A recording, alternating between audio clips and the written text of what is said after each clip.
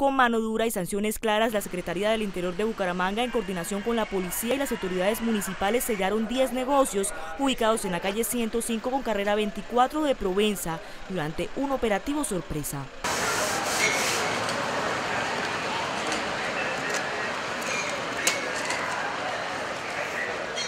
Los establecimientos no tenían los documentos en regla ni las licencias para funcionar como discotecas. Además, vendían licor a menores de edad. No contentos con esto, molestaban a sus vecinos quienes tenían que aguantar los exagerados ruidos, las peleas y la ocupación del espacio público por parte de los borrachos y vehículos.